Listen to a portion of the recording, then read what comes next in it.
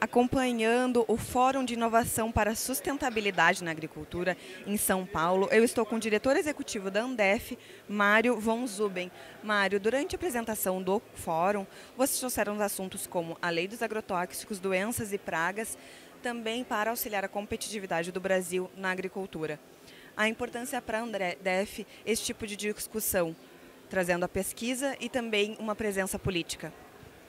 A Andef ela tem o papel de representar os interesses das, das, empresas que investem em pesquisa e desenvolvimento de defensivos no Brasil.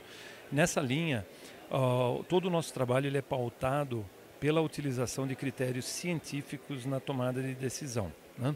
Então, é a situação que a agricultura brasileira vive hoje no tocante à área de defensivos?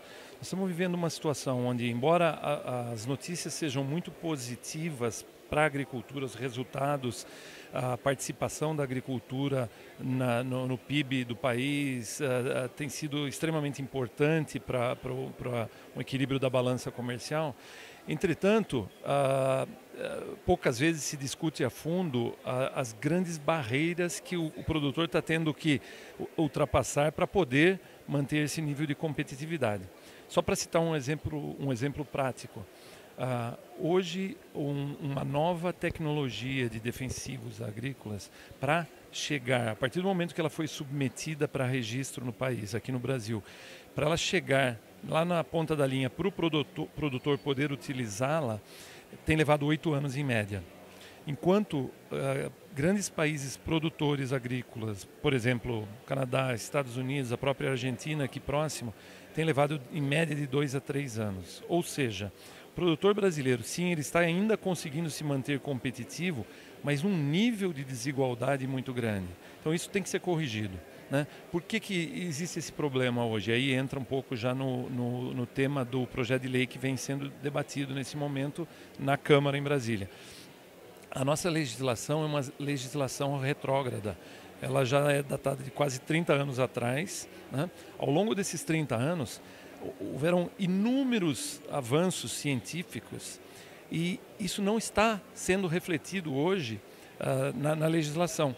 Então, o, o, o que está sendo discutido e a proposta que foi colocada é uma proposta que sim tem o apoio da, da, da indústria. Né? Nós temos dialogado regularmente com, com produtores e diversos elos da, da cadeia sim tem o nosso apoio porque ela busca a modernização.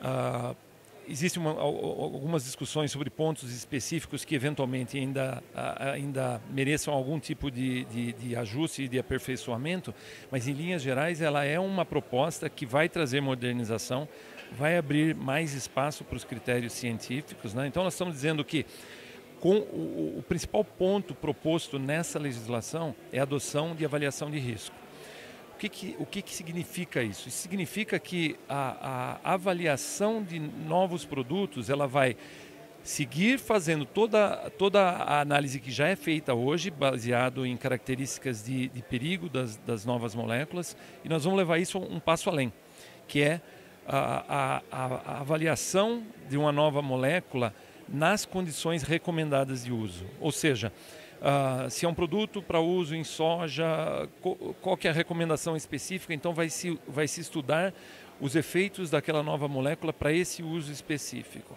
E esse, essa, essa análise, ela culmina com uma tomada de decisão. Obviamente, se depois da realização da análise de risco houver qualquer tipo ainda de risco para consumidor, para o meio ambiente, obviamente essa molécula não pode ser aprovada. Né? A ideia é que você consiga colocar um nível a mais de segurança né, na, nesse processo de análise e essa segurança vem justamente da adoção de critérios científicos e, e, e se utilizando de toda a modernidade da ciência que está disponível hoje. Diretor, é um assunto que a gente não tem como fugir, a PL do, da lei do agrotóxico, e o assunto do fórum é inovação para a sustentabilidade. Existe uma briga muito grande com a sociedade urbana para entender o uso do defensivo agrícola. O público aqui do evento é a favor do uso. Como a Andef trabalha com a sustentabilidade para o público urbano, para ter esse entendimento? É, eu acho que ficou claro ah, em algum, algumas das palestras aqui hoje que, que inovação e sustentabilidade uh, já não, não existe uma diferenciação possível entre esses dois, esses dois conceitos. Né? Uma coisa anda junto com a outra.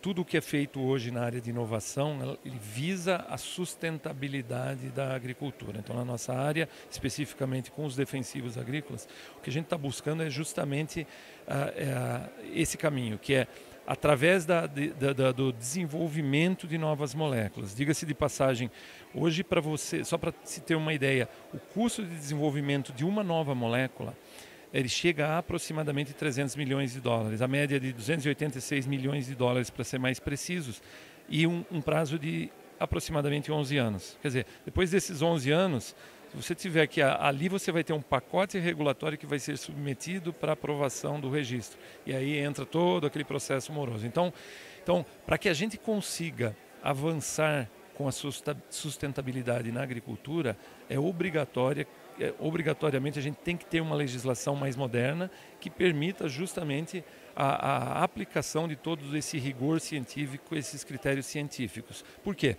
Porque na nossa visão uh, de forma alguma a gente pode abrir mão de segurança, seja ela para o meio ambiente, seja ela para a saúde humana de um, de um produtor rural que está aplicando o produto, de um consumidor que está se alimentando. Então, uh, uh, e, e no, no, nosso entendimento, a avaliação de risco é o melhor caminho para a gente garantir essa segurança para a população brasileira. Eu conversei com o diretor executivo da Andef, Mário Von Zuben, Aline Merladete, para o portal AgroLink.